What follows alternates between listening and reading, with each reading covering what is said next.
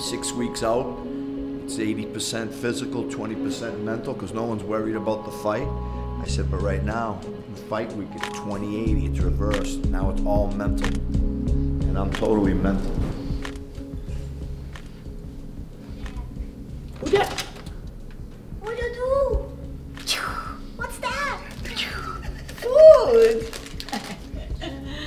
Here he is. Gangsters, let's go. Let's go. Oh, jeez. You puking your food out?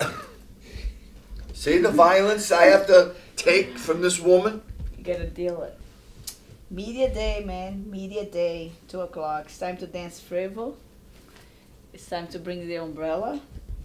Oh, have you seen this? Put makeup on. Fix the hair. Gotta wash. Put myself, make myself pretty. Just got a call from crew Mark DellaGrotte asking about Kaline. Focused, ready to go. My man's checking up on us. Damn. Rock and roll, babe. That's awesome. The queen First of, a. The queen of the selfies. I'm not. I'm not.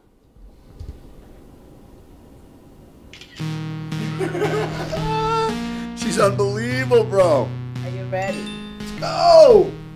Started like with Amanda Nunes corner. Amanda Nunes Invicta FC for came to other fights uh, to watch.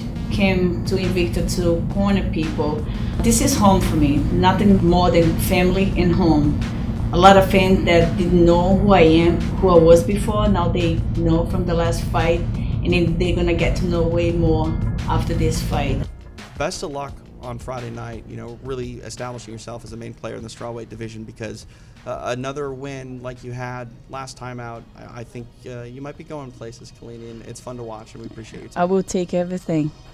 Take everything and anybody. I don't care.